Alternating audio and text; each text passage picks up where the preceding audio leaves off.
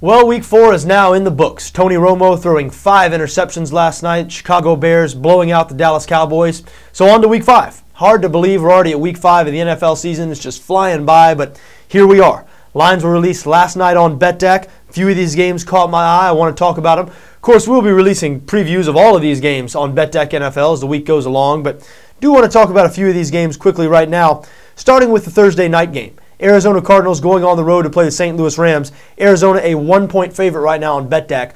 Cardinals, the surprise of the league, of course. Nobody expected them to be 4 0 at this point of the season.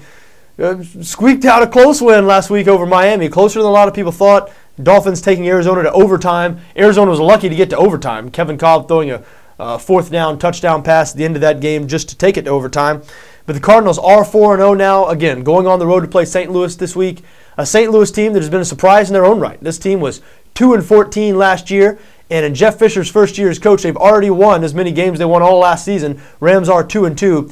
Both of their wins coming at home, and both of their wins they were home underdogs. And both of those games they were playing teams very similar to the Arizona Cardinals. Now, I don't necessarily mean similar stylistically because the Washington Redskins certainly score a lot of points and don't play much defense, which is not the Arizona Cardinals' MO at all. But the, the Rams' two home victories have been over the Redskins and the Seahawks. Both of those teams have been sort of surprise teams. They've been better than a lot of people thought they were going to be going into the year. Both those teams were short home favorites over the St. Louis Rams. Both those teams lost to the St. Louis Rams. So the same thing's happening this week. The Arizona Cardinals, a team that has surprised a lot of people, a team not many people thought was going to be very good, that it turns out they are pretty good, especially on defense, very good on defense. But the Cardinals are limited offensively. Remember, this team, they're not putting up a whole lot of points. So going on the road, St. Louis as, as a short favorite feels like a dangerous spot to me for the Arizona Cardinals. That being said, this line is proof that people still aren't aboard that Cardinals bandwagon. And the Cardinals, they might be this year's San Francisco 49ers. I've said before, last year, San Francisco 49ers covered nine out of the first 10 games. Not because they were blowing everybody out, because the first half or more of the season, people hadn't come around on that team. People were still expecting the same Alex Smith, the same San Francisco 49ers offense to come through that door that they had seen last year and the year before, but it, it just wasn't happening. They were a new team last year, Jim Harbaugh, and maybe the, uh, the Arizona Cardinals are this year's San Francisco 49ers, this year's new team that it's going to take people 9, 10, 11 weeks before they realize, hey, this is just a team with a great defense that beats almost everybody they play, does just enough offensively.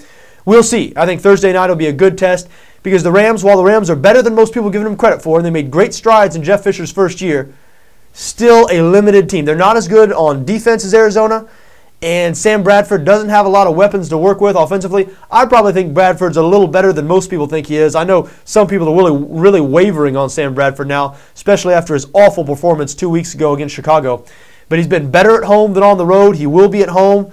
Uh, a chance for him to showcase himself Thursday night in front of the football watching world. We'll be keeping an eye on that game. Again, Arizona, a one point road favorite over the St. Louis Rams. Another game that interests me the Atlanta Falcons, who have been as good, good as any team in the league, 4 0, uh, along with the Arizona Cardinals, 4 0. Squeaked by the Carolina Panthers last week, their division rival. Falcons were seven point favorites in that game, did not cover for the first time this year. They're short road favorites against the Washington Redskins. Now, the Washington Redskins seems like every year there is one team that one team you ride and make a lot of money back in that team, and there's one team that just cost you, just cost you the whole year. And so far this season, the Washington Redskins have been that team for me. In, in, four through four weeks of the season, I've bet against the Redskins three times, and I'm only one and two in those games. Redskins have cost me money two out of those three games, including last week when I thought the Tampa Bay Bucks were going to beat them at home. Redskins pulled out a last-second win in that game. I have thought throughout the season that the Redskins were getting more credit than they, than they deserve. You know, this was a team that was five and 11 last year. They have a rookie quarterback. The reason I think a lot of people are very high on this team is because people love offense, and the Redskins have produced offense this year, and people love stars. And the Washington Redskins have a bona fide star in quarterback Robert Griffin III. But, you know, I, I thought that, that the, the Robert Griffin love, the, the Redskins love was a little bit out of control over these first few weeks, but maybe I'm wrong. Because, again, I'm 1 and 2 betting against the Redskins, so maybe I'm undervaluing this team. And certainly at first glance, when I see Atlanta only laying three points on the road in Washington, I say, wow, this sure feels like a Falcons spot. I certainly feel like the Falcons are more than three points better than the Redskins. But maybe I need to step back and evaluate this a little bit. Again, maybe I'm not giving this Washington team enough credit. Atlanta going on the road. Is Washington going to be able to spring an upset as a short home favorite? I'm not sure, and I might not play on that game because again, I, I don't want to, you know, I, I don't want to be so hard-headed that I just sort of go down with the ship, thinking the Redskins are, are not as good as other people do, and you know just lose on them week after week. So maybe I should pull back and observe here for a minute. Certainly interesting to see that Washington is getting enough respect in the betting marketplace. So the Atlanta Falcons, who just you know, beat Carolina last week. They're obviously undefeated, but two weeks ago on the road, blew out the San Diego Chargers, who were three and one. Only a three point favorite against Washington Redskins on the road. Interesting stuff. Very interesting. Another game that's interesting, going to be interesting the Pittsburgh Steelers at home. Three and a half point favorite on BetDAQ over the Philadelphia Eagles. Now, the Eagles, they've won three games. They're now 3 and 1. They've won their three games by a combined four points. Two one point victories, a two point victory here this last week. Pittsburgh's been disappointing. No word yet on whether Troy Polamalu and James Harrison are going to be back for this game.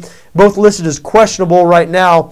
We'll, of course, find out as the week progresses whether these guys are going to play. And those guys are the two best players on Pittsburgh's defense. So it's obviously crucial. You know, it, it's important to find out whether or not those guys are going to play. Because we saw Pittsburgh against the Oakland Raiders without those guys look absolutely awful. Carson Palmer shredded that Pittsburgh secondary.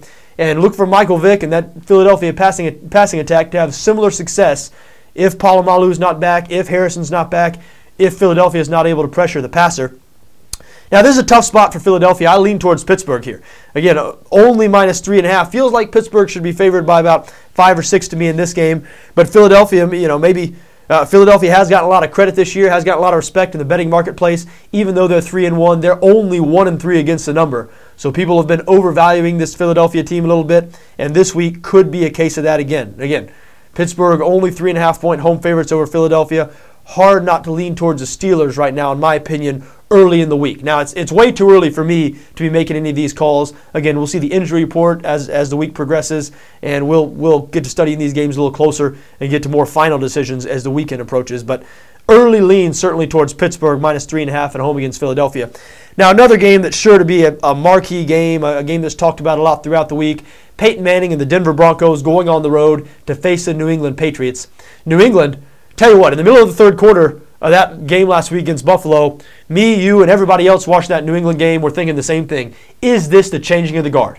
Buffalo was up 21 to 7 in that game. Looked like they were on the verge of going 3 and 1, sending the New England Patriots to 1 and 3 through 4 weeks, which would have been unbelievable. But just when you thought maybe it's happening, maybe the New England team, maybe the dynasty is over. Tom Brady Tom Brady's getting old. Just when you thought that was happening, 45 points in the last quarter and a half. New England ended up with 52 points in that game after only having seven in the third quarter.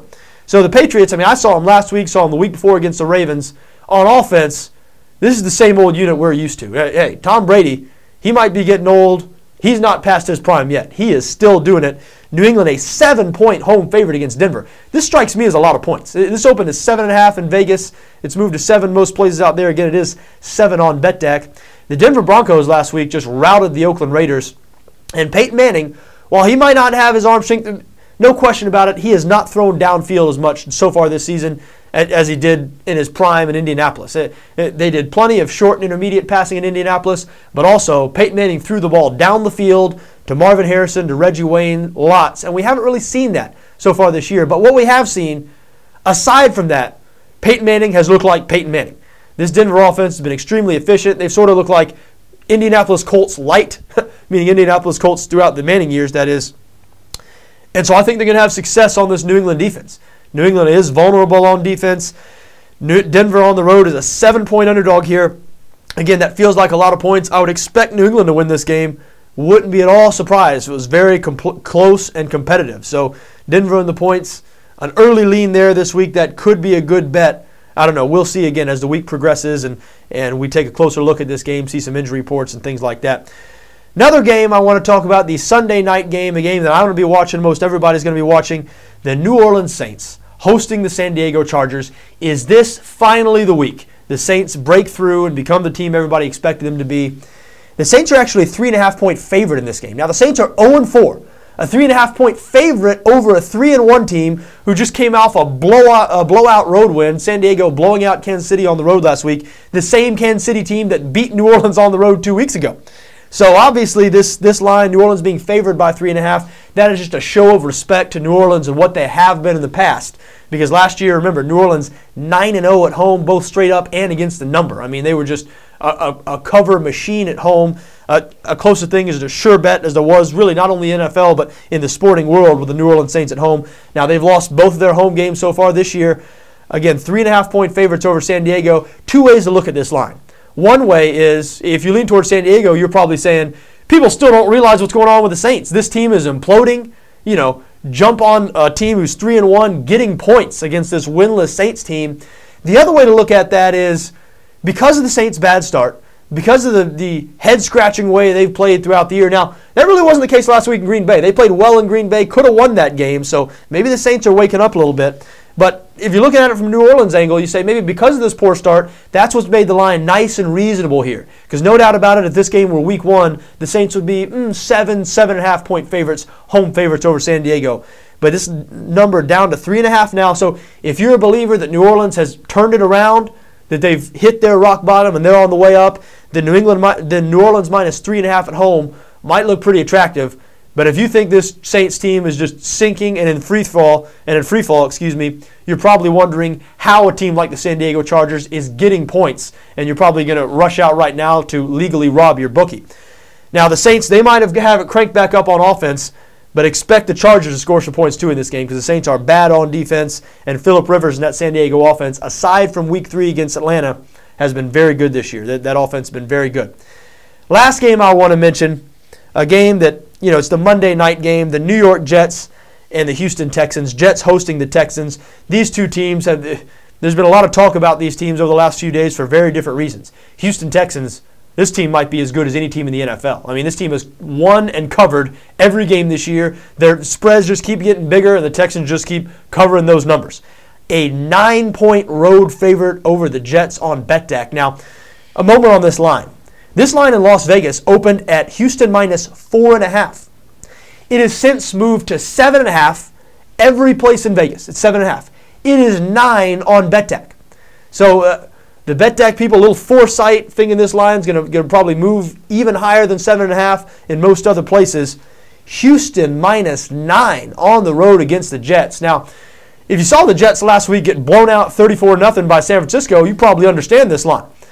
But I'll tell you what, this is a lot of points to be given a team that just was embarrassed. A team's going to be on national TV with a good defense. I mean, you know, this defense, I mean, their manhood was challenged. San Francisco ran for what, 250 yards or something on this defense. This is not a bad defense. I know Darrelle Revis is out now, but you know, it, it wasn't Darrelle Revis that was responsible for giving up all that rushing yardage in the last game. So the Jets have been challenged. Look for them to respond from that challenge. They're tied for first in the AFC East. It's not like this is the, you know, they're not the Kansas City Chiefs. This is not a team, we're not shoveling dirt on them. Some people are shoveling dirt on them, but that might be a little premature. Again, this team 2 and 2. How are they going to score points, though? Look absolutely awful on offense. Absolutely awful. The Mark Sanchez era in, in New York might be just about done. Because when you look at this team now with Santonio Holmes out, limited playmakers on offense, you know, I said it dawned on me watching the games last week. Listen, last year's Denver Bronco offense, no one would say that was a thing of beauty. No one would say that's an ideal offense to run in the NFL. They did not pass the ball enough, did not pass the ball effectively enough. Certainly, you'd much rather have an offense like New Orleans or New England that just put 40 points up on the board and scored and scored and scored. But if the choices are the Denver Broncos offense of last season, which led the league in rushing, was effective in keep, keeping opponents' offenses off the field because they used up the clock, they ran the ball so much, again, leading the league in rushing. So the Denver defense instantly became a lot better once they started r- running that run heavy uh, read option offense. If the choices are that offense and this quote unquote conventional offense from the Jets, if what we saw last week was conventional offense, I'm sorry, if I'm a Jets fan, leading the league in rushing, maybe winning your division, letting the, you know, staying in a lot of these games, letting your defense win some of these games, maybe winning your division and winning a playoff game like Denver did last year. That sounds pretty good to me. If the alternative is this conventional offense, Mark Sanchez with no weapons, completing less than half his passes, throwing for 100 yards. Man, Tim Tebow can complete less than half his passes and throw for 100 yards, and he can run. All right, Sanchez can't run, and so to, I, I think it it might be Tebow time. It might be Tebow time in New York. And I'll tell you what, they're not going to start Tebow this Monday. But if it gets ugly against the Houston Texans, which it might, obviously the Texans a nine-point road favorite. A lot of people thinking this game could get ugly. it might be Tebow time in New York come week six. And I tell you what, maybe it should be. Maybe it should be. Because after what we've seen out of Mark Sanchez and that offense over the last couple of weeks, where do you go? I mean, with Santonio Holmes out, Tim Tebow is the, the best playmaker on that offense. I mean, and, and it, it, it, it's not a, it doesn't say anything good about the Jets offense, but Tebow's scrambling, his running out of the pocket, that's, that's the Jets' best form of offense right now. So, what will the Jets look like on Monday night? How will they evolve? Will we see more Tim Tebow? Will we see the end of the Mark Sanchez era? Will the Jets be blown out? Nine point home underdogs to the Houston Texans. Should be a very intriguing, very interesting game to watch. Now, again, we'll be having previews of that game and every other game here on BetDAQ NFL as the week progresses. So be sure to, to, to check back daily if you're an NFL fan, if you like betting on NFL. We try to make BetDAQ NFL sort of your home. If you have any suggestions, any comments, feedback on the site, John at BetDAQ NFL is how you get to me. That's John at BetDAQ NFL. We'll be seeing you over the next couple days, at least in video form. We'll be speaking to you live Sunday. Remember, we live stream every Sunday right here from the BetDAQ NFL War Room. So for BetDAQ NFL, I'm John Arnette.